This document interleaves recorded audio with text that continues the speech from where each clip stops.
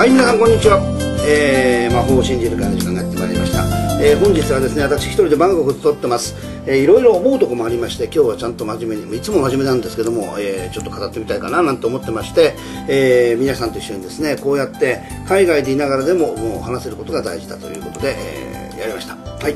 えーまあ、実際はですね私あのバンコクのモンテンホテルで一人でやってるんですけどこの間にいろんなことがありました。もう本当にあのなんだろうねあの当然あの旅ですからまあいろいろ旅のいろんなことがあるんですけどそれ以上にですねやっぱマジック関係の仲間たちといろいろ考えることがあったので今日はちょっとね師弟関係とか弟子とかそういうことについてねちょっと真剣に語りたいんですよ。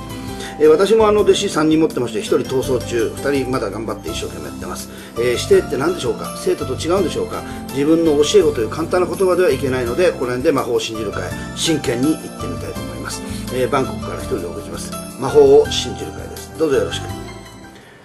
えっ、とねあの弟子っていうとなんかすごくかっこよく聞こえるのかな？どうなんでしょうかね？私なりの弟子の考え方があります。一般の人がというよりか、えーと、弟子っていうふうに分けたら生徒とどう違うんだろうと。例えばあの英語で言うとステューデントって言いますね。これは生徒ですね。あとなんだろうな、えー、もう一つ言うとまあ他にもねいっぱい言葉がありましてね。弟子、うん、例えばで師長のことをマスターっていうんでしょうかね。それとも、えー、いろいろ精神的な指導者メンタラーっていうんですかね。僕らあのアプレンテストっていうことが一番いいのかなというふうに、えー、考えてましてね。やっぱり一子相伝じゃないけど自分の持ってるものを理屈とかそういうこと抜きでお互いの約束の中で全部、えーと、つながってあの教え合えるそういうふうな指定と考えたいんですよ私は、うん、で今現状ですね私の弟子小林恵子。えー、そして、えー、もう一人あの小川修とこの二人は頑張ってます。であの無敵軍っていうのがいるんですけどやっぱ自分が弟子にしたっていきさつも全部あるんですよね。教えるだけだったらお金もらってどうたらこうたでいいと思うしうんそうですね。じゃあ一度教え始めて弟子になったら気に食わないこいつクビだとか気に入らねえからもう私はこの人に教わらないよってやってしまったらうんそれも弟子なんですかね。僕はどうやってもそう思えないんですよ。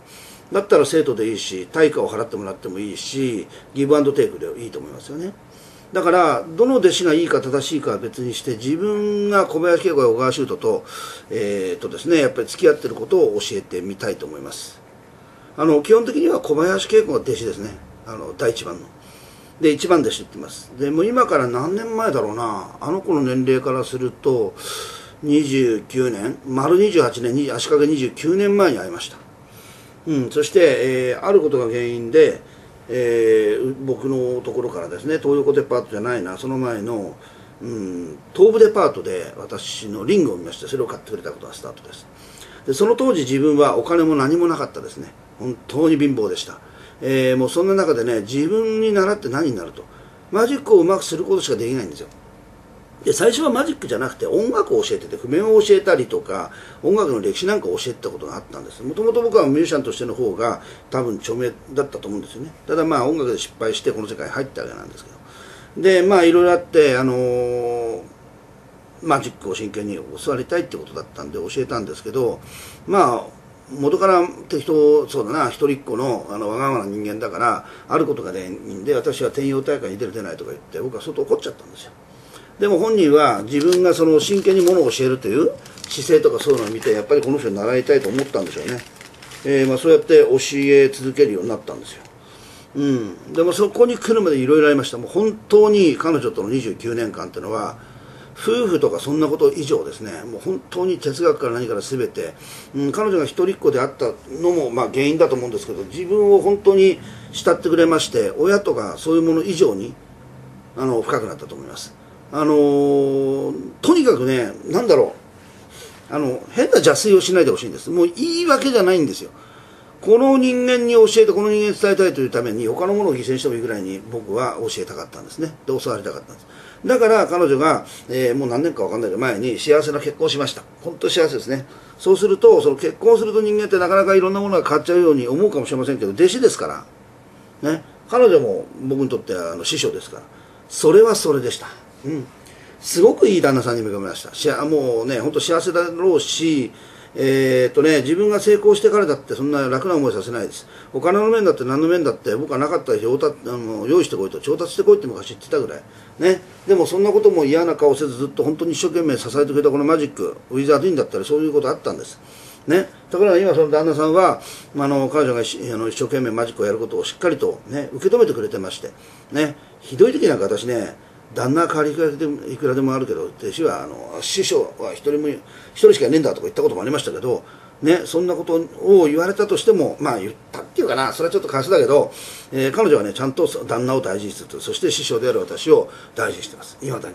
で多分これは私死ぬまでリレーションシップすると思うんですよね。で死ぬまでやっぱり彼女を信頼してマジックを教えて、えー、彼女の、夫婦、ね、この2人を大事に見守って協力していこうと思ってます。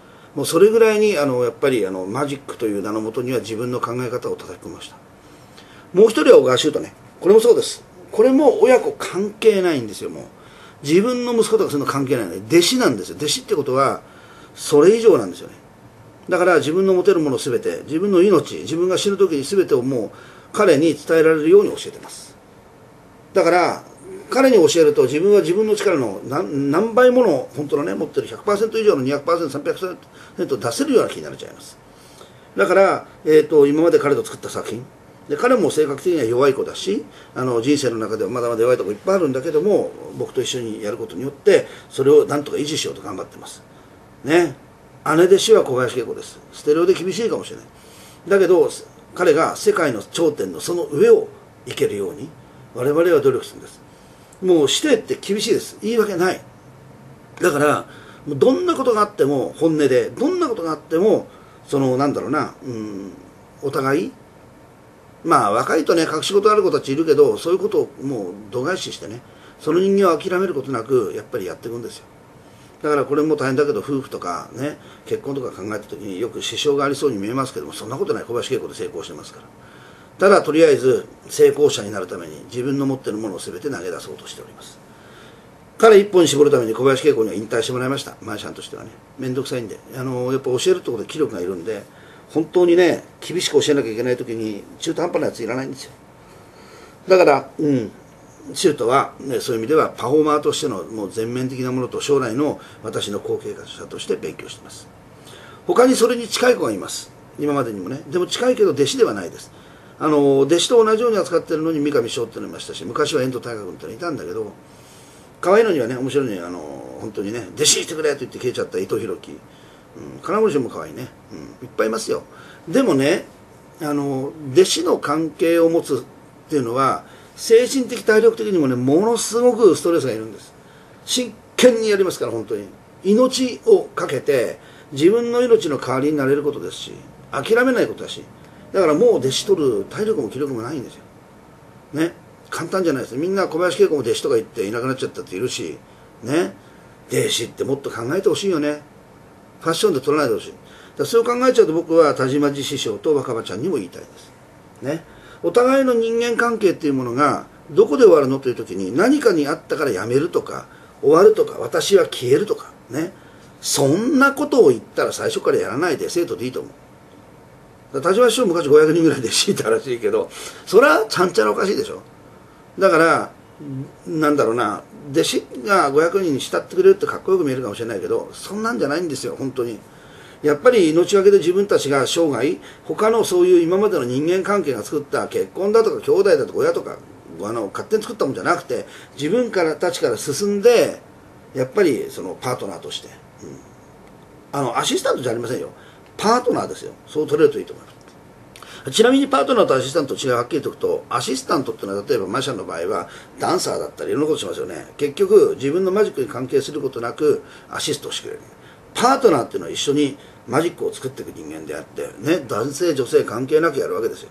だから夫婦っていうのは旦那さんが例えば稼いでいって奥さんが料理を作るっていうわけじゃないです。それが重要だとしてそれもいいんだけどそれはパートナーなんですよね。どっちかが偉いわけでもないってこと。どっちが1000万稼いでどっちが10万円しか稼げなくてもそれに対して差を作ったらパートナーになれないです。わかりますか？だからそれも踏まえて我々は考えていかなきゃいけないんですね。僕の視点に対する考え方ってこういうことです。厳しすぎるかどうかっていうわけではなくてだから僕には2人優秀な弟子がいます。そして将来戻ってくるだろう。あのヒゲ面のムテキング。一生涯だからこそ僕は見捨てないんですよ。わかりますか？まあ若葉ちゃんと師匠に、えー、言ったような話でしたけど本当に師弟関係っていうのは大事に将来いい本当パートナーをつないでください。よろしくどうぞ。さようなら。この番組はあなたの街のエンターテインメントウィザードインがお送りしました。